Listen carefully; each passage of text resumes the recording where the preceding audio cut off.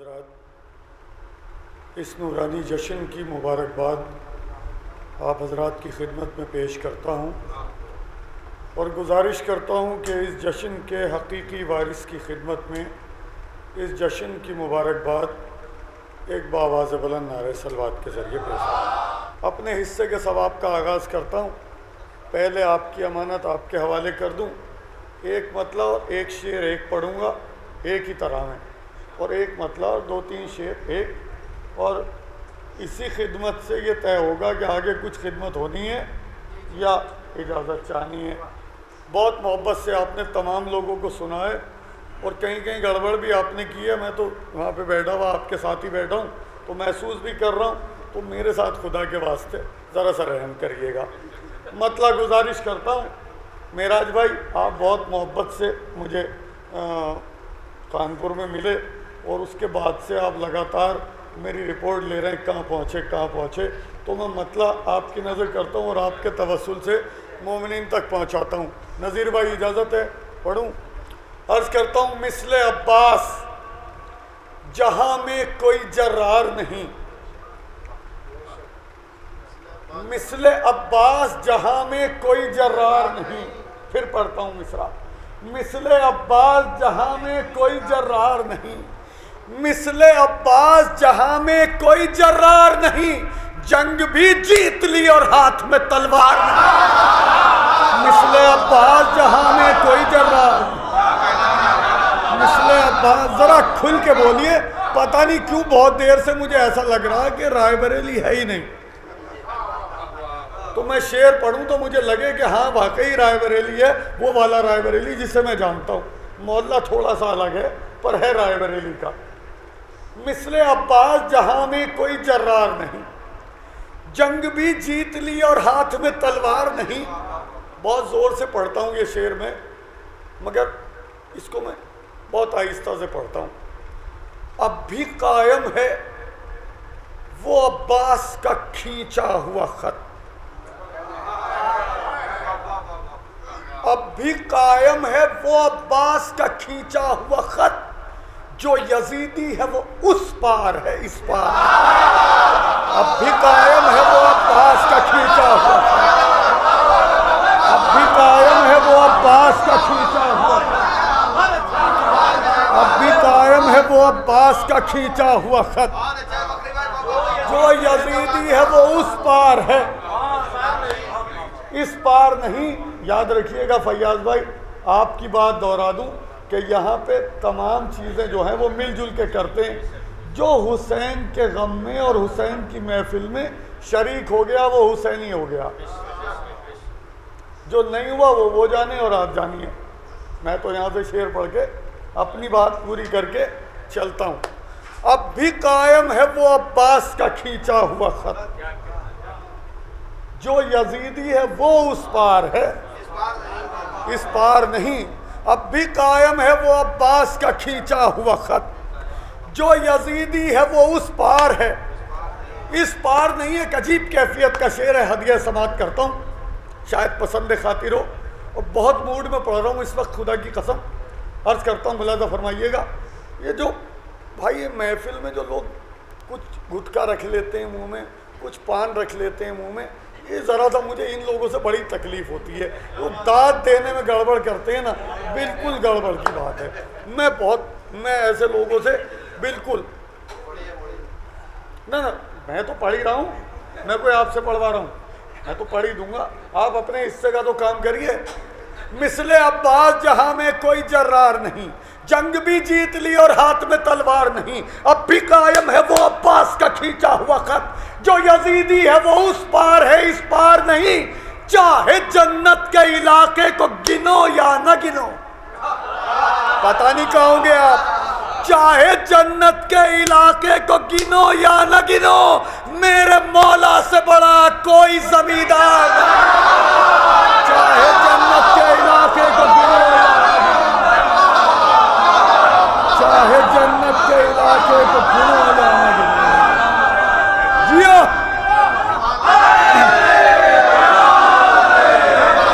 چاہے جنت کے علاقے بہت شکریہ بہت شکریہ بہت شکریہ۔ چاہے جنت کے علاقے کو گنو، چاہے جنت کے علاقے کو گنو یا نہ گنو، چاہے جنت کے علاقے کو گنو یا نہ گنو، میرے مولا سے بڑا کوئی زمیندار نہیں، نظر عباس کے شربت سے ہے پرہیز جسے۔ پھر پڑھتا ہوں مصرا۔ نظر عباس کے شربت سے ہے پرہیز، جسے کسی قیمت پہ بھی کوثر کا وہ حقدار۔ نظر عباس کے شربت سے ہے پرہیز۔ یہ- یہ کون سی داد ہے؟ یہ آسٹریلیا کی داد ہے۔ امریکہ سے لایا داد دینے کا اسٹائل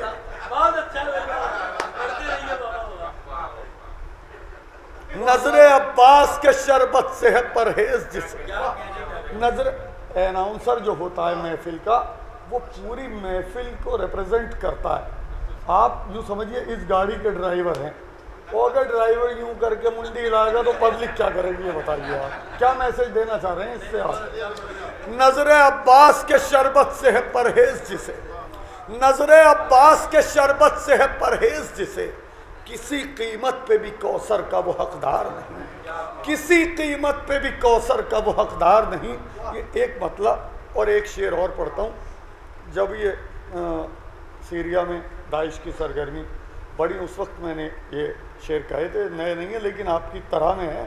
یہ حقدار ہیں آپ ان کو سننے کے۔ میں عدیہ سماعت کرتا ہوں۔ مثل ایک درود پڑھیں بابا جو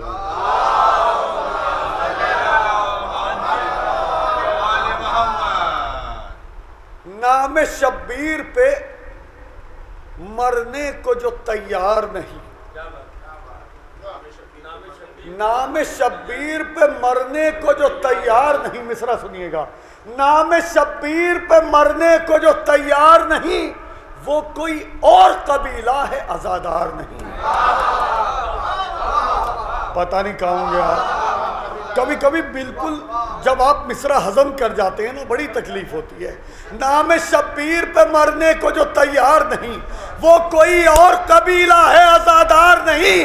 ہر ازادار ہے اب سر سے کفن باندھے ہوئے۔ ظالموں، یہ نہ سمجھنا کوئی مختار۔ ہر ازادار ہے اب سر سے کفن باندھے ہوئے ہر ازادار ہے اب سر سے کفن باندھے ہوئے یہ نہ سمجھنا کوئی مختار نہیں۔ ظالموں یہ نہ سمجھنا کوئی مختار نہیں۔ ظالموں یہ نہ سمجھنا کوئی مختار نہیں۔ ایک قطع میں نے تازہ ابھی پڑھا۔ میں عدیہ سماعت کرتا ہوں ملازہ فرمائیے گا۔ امام سجاد نے جب دربار یزید میں قدم رکھا تو یزید نے پوچھا، تمہارا نام کیا ہے؟ امام سجاد نے فرمایا، میرا نام علی ہے۔ اس نے پوچھا وہ جس کے ہمارے سپاہیوں نے برچھی ماری تھی، وہ کون تھا؟ کہا، وہ بھی علی تھا۔ جس کے ارملا نے تیر مارا تھا، وہ کون تھا؟ وہ بھی علی تھا۔ یزید بے چین ہو گیا اور بے چین ہو کے سوال کرتا، تو کتنے علی ہیں؟ کتنے علی ہیں جو امام سجاد نے جواب دیا؟ میری طرف سے کچھ نہیں ہے، صرف نظم۔ قلم بند کیے ہیں اس بات کو نظم کر دیا ہے۔ جواب امام سجاد کا ہے۔ آپ کی امانت ہے، آپ کے حوالے کرتا ہوں۔ امام سجاد نے فرمایا، حیدر کے دشمن کی نیند اڑانے کو۔ حیدر کے دشمن کی نیند اڑانے کو، جو رکھا ہے میرا نام، وہی رکھتے۔ حیدر کے دشمن کی نیند اڑانے کو، جو رکھا ہے میرا نام، وہی رکھتے۔ سو بیٹے بھی دیتا اللہ انہیں میرے بابا سب کا نام علی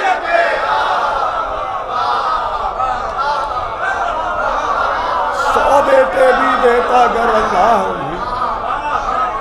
سو بیٹے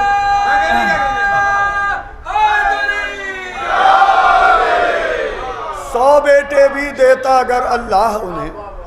میرے بابا سب کا نام علی رکھتے۔ میرے بابا سب کا نام علی رکھتے، ابھی ابھی ابھی بس مت کرو، یہ یہ ایک آصف بھائی کہہ رہے ہیں، بس تو میں چلو۔ ابھی بس ویسے بس نہیں ہے، آپ کی بات بس کر دیتا ہوں۔ میں ہدیہ سماعت کرتا ہوں۔ ملازہ فرمائیے گا، ایک مطلع سے مربوط کر کے ایک شعر پڑھتا ہوں۔ بہت اچھا آپ لوگ سن رہے ہیں، مگر کبھی کبھی مصرا آپ لوگ ہضم کر جاتے ہیں۔ تو تھوڑا سا وہ مجھے ہضم نہیں ہوتی بات۔ تھوڑا سا وہ جو محفل کا جو ماحول ہے، وہ جو آپ کی ذمہ داری ہے، اس کو تھوڑا تھوڑا سا۔ دیکھو، دراصل ہماری بات جتنی آپ تک پہنچ رہی ہے، اگر اس کی پچیس پرسینٹ آپ جواب دیتے رہیں، تو بات بنی رہے، کوئی پریشانی نہ ہو اور یہ خدمت ہوتی رہے۔ میں مطلب گزارش کرتا ہوں۔ ایک درود پڑھتے ہیں آپ حضرات۔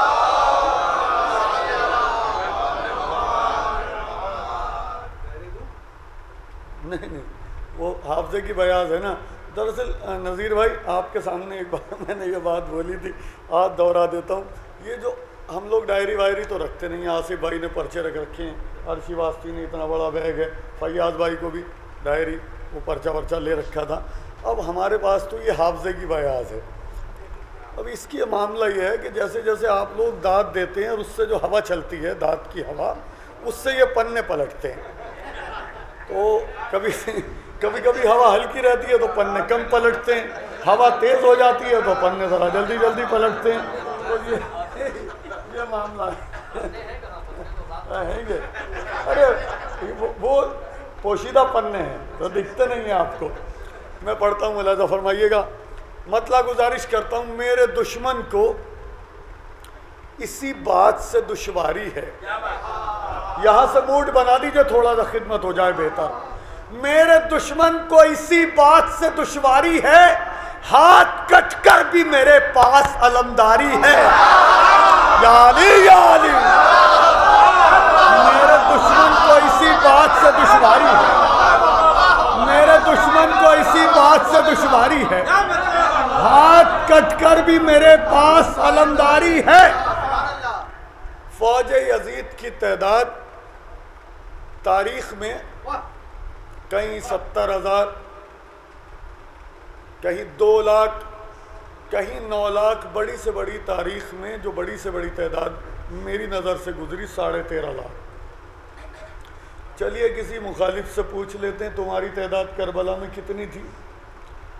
وہ کہے گا ستر ہزار۔ آصف بھائی ہمارا جواب کیا ہوگا؟ بس۔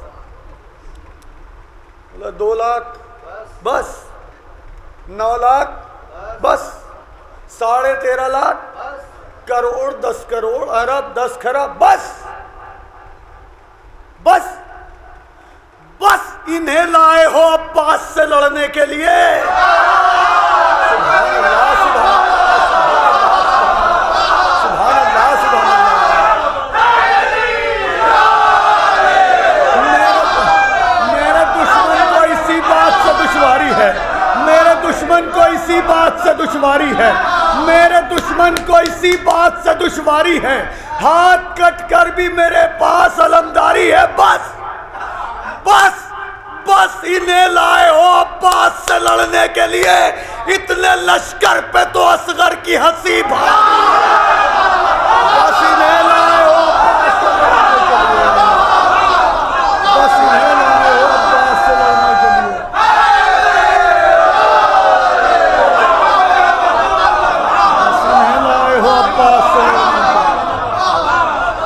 بس انہیں لائے ہو عباس سے لڑنے کے لیے۔ بس انہیں لائے ہو عباس سے لڑنے کے لیے۔ اتنے لشکر پہ تو اصغر کی ہنسی بھاری ہے۔ بس انہیں لائے ہو عباس سے لڑنے کے لیے۔ اتنے لشکر پہ تو اصغر کی ہنسی بھاری ہے۔ اتنے لشکر پہ تو اصغر کی ہنسی بھاری ہے۔ ایک قطع اور یاد آ گیا شہزاد علی افضل کے حوالے سے۔ حدیہ سماعت کرتا ہوں۔ وہی دلیر۔ وہی دلیر۔ یقیناً دلیر ہوتا ہے۔ وہی دلیر یقیناً، ناز بھائی، ابھی تک میں نے آپ کو متوجہ نہیں کیا۔ میں مصرع پڑھتا ہوں اور اس میں نشست و برخاست دیکھیے گا۔ وہی دلیر یقیناً دلیر ہوتا ہے۔ وہی دلیر یقیناً دلیر ہوتا ہے۔ کہ جس کے آگے زبردست زیر ہوتا ہے۔ کھل کے بولیے، شرما کے مت بولیے۔ وہی دلیر یقیناً دلیر ہوتا ہے۔ وہی دلیر یقیناً دلیر ہوتا ہے کہ جس کے آگے زبردست زیر ہوتا ہے۔ زمانے والوں یہ شیر خدا کا گھر ہے۔ یہاں انگوٹھا چوستا بچہ بھی شیر زمانے والوں یہ شیر زمانے والوں یہ شیر خدا کا گھر ہے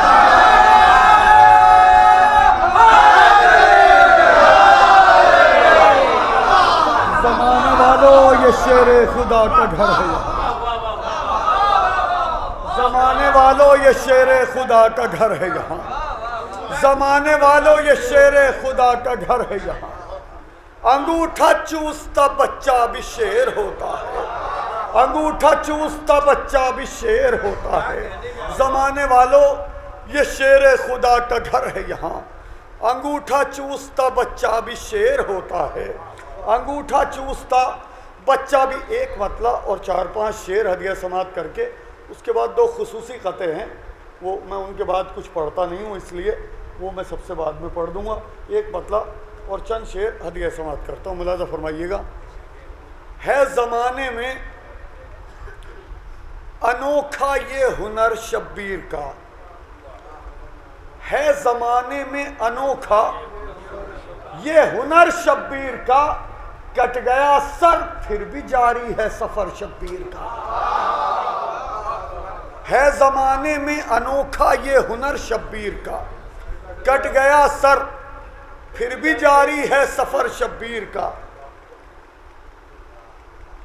امام علی مقام نے فرمایا کہ جس نے ہمارے جد کی شان میں ایک شعر کہا، پروردگار نے اسے جنت میں ایک مکان دیا۔ ہم جو شعر یہاں پڑھتے نہیں ہیں نا، ان کا بھی مکان مل چکا ہے ہمیں جنت میں۔ جو پڑھنے قابل سمجھتے ہیں، وہی پڑھتے ہیں۔ جو نہیں بھی پڑھتے ہیں، مکان جنت میں مل چکا ہے اس کا۔ تو آپ کے سامنے وہ شعر پڑھتے ہیں، جس سے ہم یہ امید کرتے ہیں کہ آپ تک پہنچے گی بات، تو آپ کی بات بھی ہم تک آ جائے گی۔ کبھی آہستہ سے بولا کریں، تو آپ لوگ زور سے سن کے ہمارے اعتماد کی لاج رکھ لیا کریں۔ ہے زمانے میں انوکھا یہ ہنر شبیر کا۔ کٹ گیا سر۔ انور بھائی یہ جو خالی منڈی ہلاتے ہیں نا لوگ آپ کے جیسے وہ مجھے ایسا لگتا ہے جیسے مسڈ کال مار رہے ہیں۔ نہیں نہیں اب ابھی تو لگائیے ابھی جب مصرا میں نے پڑھا تو یوں کر دیا۔ کوئی بات نہیں ہے۔ محفل کا ماحول بنانے کے لیے آپ جیسے لوگوں کو کھینچنا پڑتا ہے۔ ہے زمانے میں آپ تو اپنے ہیں نا مطلب پہچان کے ہیں۔ باقی تو مولا کے چاہنے والے سب ہمارے بھائی ہیں۔ لیکن کیا ہے آپ سے مجھے پتا کہ آپ لڑیں گے نہیں۔ اس لیے آپ سے کہہ دیا۔ ہو سکتا ہے کہ ناراض ہو جائے اس لیے آپ سے بات کر لیں ہے زمانے میں کہہ رہا ہوں سب سے مخاطب آپ کو کر لیا۔ ہے زمانے میں انوکھا یہ ہنر شبیر کا۔ ہے زمانے میں انوکھا یہ ہنر شبیر کا۔ کٹ گیا سر پھر بھی جاری ہے سفر شبیر کا۔ سید سجاد ہوں یا اصغر بے شیر ہوں سید پڑھوں گا آہستہ سے سنیے گا چاہے جیسے سید سجاد ہوں یا اصغر بے شیر ہوں اپنی منزل میں علی ہے ہر پسر شبیر کا۔ سید سجاد ہوں یا اصغر بے شیر ہوں اپنی منزل میں علی ہے ہر پسر شبیر کا۔ دین کاغذ پر لکھا اور رکھ دیا میں نے قلم۔ دین کاغذ پر لکھا۔ میں پتہ نہیں کس کیفیت میں پڑھ رہا ہوں، مجھے خود بھی اندازہ نہیں ہے کہ میں اس وقت کس کیفیت میں پڑھ رہا ہوں۔ دین کاغذ پر لکھا۔ اور رکھ دیا میں نے قلم، اس نے پوچھا تھا تعارف مختصر شبیر کا۔ سلامت رہیے سلامت رہیے سلامت رہیے۔ دین کاغذ پر لکھا اور رکھ دیا میں نے قلم۔ اس نے پوچھا تھا تعارف مختصر شبیر کا۔ کاغذ پر لکھا اور رکھ دیا میں نے قلم۔ اس نے پوچھا تھا تعارف مختصر شبیر کا۔ اس نے پوچھا تھا تعارف۔ بہت شکریہ۔ تین کاغذ پر لکھا اور رکھ دیا میں نے قلم۔ اس نے پوچھا تھا تعارف مختصر شبیر کا۔ شام کی تاریکیوں میں کھو گیا ظالم یزید۔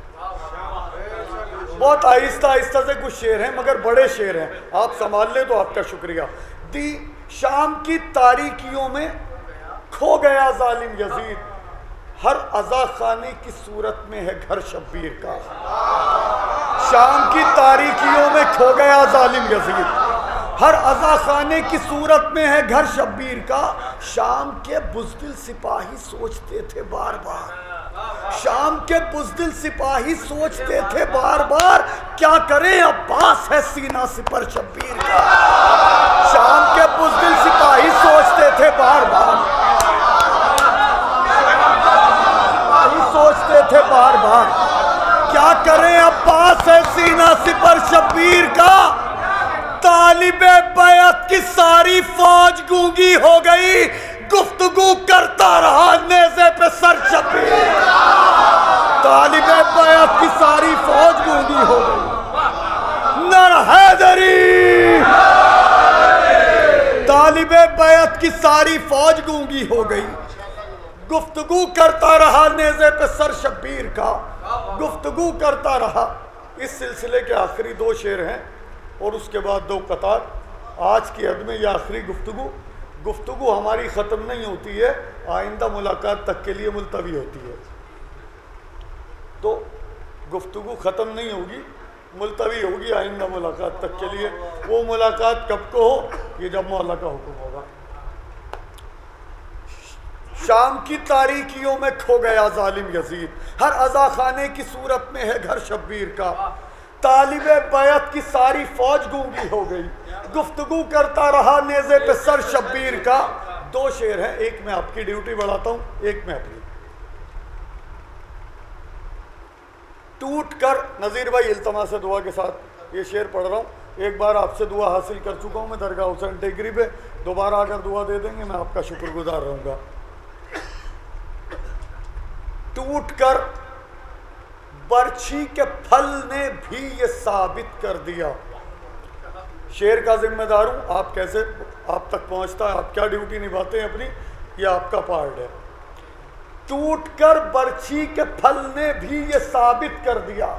میراج بھائی، ایسے مت گھورو۔ بہت اچھا شعر ہے۔ محبت سے دیکھیے، محبت سے۔ ٹوٹ کر برچھی کے پھل نے بھی یہ ثابت کر دیا۔ پھر پڑھتا ہوں مصرا۔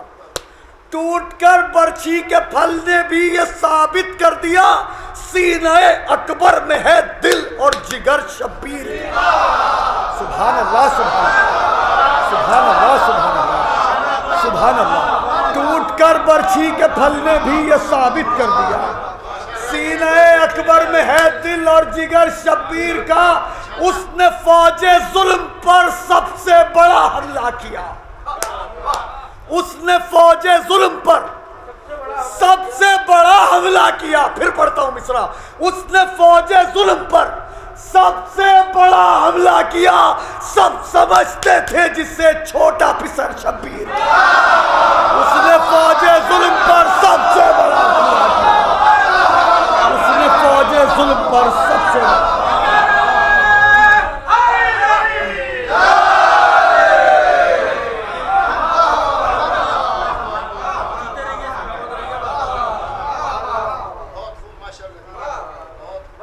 اس نے فوج ظلم پر سب سے بڑا حملہ کیا۔ سب سمجھتے تھے جسے چھوٹا پسر شبیر اس نے فوج ظلم پر سب سے بڑا حملہ کیا۔ بہت شکریہ۔ دو قطعات ہیں ہدیہ سماعت کرتا ہوں۔ ایک قطع مصائب کی سخت ترین منزل سے ایک فضائل کا گوشہ مولا کی بارگاہ سے عطا ہوا ہے۔ ہدیہ سماعت کرتا ہوں۔ غازی عباس علمدار نے امام علی مقام سے یہ وصیت کی کہ میرا لاشا خیمے میں نہ لے جائیے گا۔ اس کی ذاکرین وجوہات بیان کرتے ہیں کہ کس وجہ سے کہا ہوگا۔ لیکن تمام جو پہلو ہیں، اس میں اس وصیت کے ذیل میں جو بیان کرتے ہیں ذاکرین، وہ تمام پہلو مصائب کے ہیں کہ یہ وجہ رہی ہوگی، یہ وجہ رہی ہوگی کہ جو انہوں نے کہا کہ، میرا لاشا خیمے میں نہ لے جائیے گا۔ ایک فضائل کا گوشہ مولا کی بارگاہ سے عطا ہوا۔ اگر مولا کی بارگاہ سے عطا نہ ہو تو ہماری ایک حیثیت، ایک لفظ لکھنے کی نہیں ہے۔ خصوصی طور پہ اس طرح کے مصرے تو کوئی اوقات ہی نہیں، ہم جیسے لوگوں کی ہدیہ سماعت کرتا ہوں یہ آخری دو قطعات آج کی حد میں یہی گفتگو ہے۔ امام علی مقام نے یہ وصیت کیوں کی کہ میرا لاشا خیمے میں نہ لے جائیے گا؟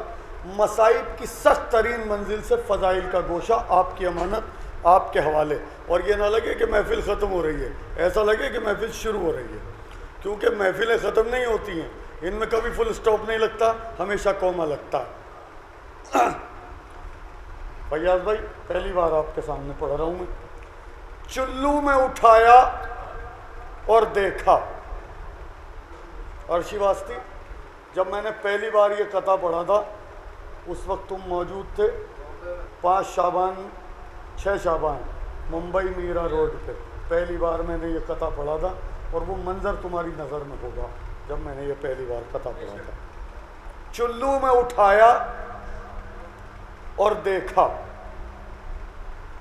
پھر واپس پھینکا، چھوڑ دیا۔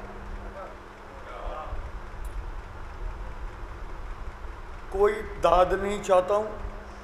اگر بات پہنچے تو بولیے گا ورنہ مصرے واپس کر دیجیے گا، جیسے ممبئی میں پڑھے تھے، کہیں اور پڑھ دوں گا۔ چلو میں اٹھایا اور دیکھا۔ پھر واپس پھینکا، چھوڑ دیا۔ چلو میں اٹھایا اور دیکھا۔ پھر واپس پھینکا، چھوڑ دیا۔ ایک پیاسے کی خودداری نے پانی کو پیاسا چھوڑ دیا چلو میں اٹھایا اور دیکھا چلو میں اٹھایا اور دیکھا مجھے معلوم نہیں میں کیسے پڑھ رہا ہوں، آپ کی امانت آپ کے حوالے ہے۔ چلو میں اٹھایا اور دیکھا، پھر واپس پھینکا، چھوڑ دیا۔ ایک پیاسے کی خودداری نے پانی کو پیاسا چھوڑ دیا۔ اس نے یہ وسیعت سوچ کے کی، خیمے میں نہ لاشا لے جانا۔ ایک پل کو بھی کوئی کہہ نہ سکے، عباس نے دریا چھوڑ اس نے یہ وسیعت سوچ کے کی خیمے میں نہ لاشا لے جانا اس نے یہ وسیعت سوچ کے کی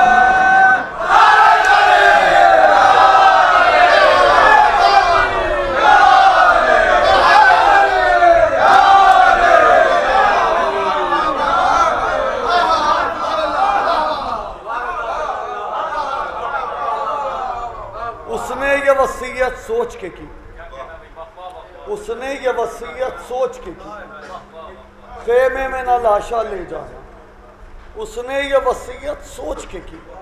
چلو میں اٹھایا اور دیکھا۔ پھر واپس پھینکا چھوڑ دیا۔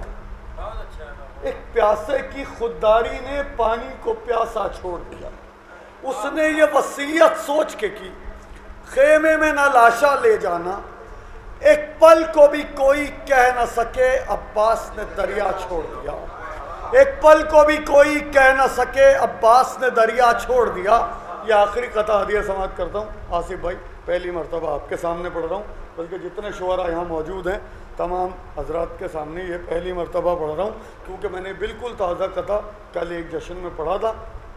اور اس کے بعد میں ہاں یہ جو گراف ایجنسی کے کیمرہ مین راہل بھائی ہیں، یہ موجود تھے۔ وہاں یہ گواہ ہیں اس منظر کے۔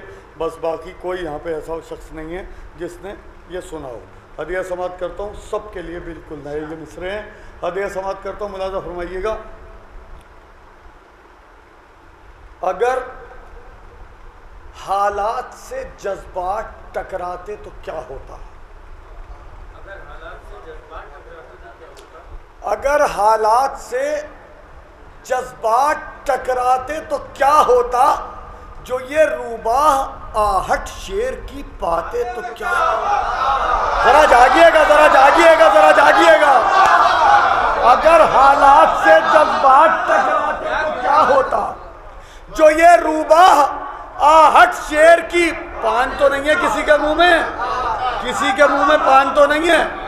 جو یہ روبا آہٹ شیر کی پاتے تو کیا ہوتا؟ اگر حالات سے جذبات ٹکراتے تو کیا ہوتا؟ جو یہ روبا آہٹ شیر کی پاتے تو کیا ہوتا؟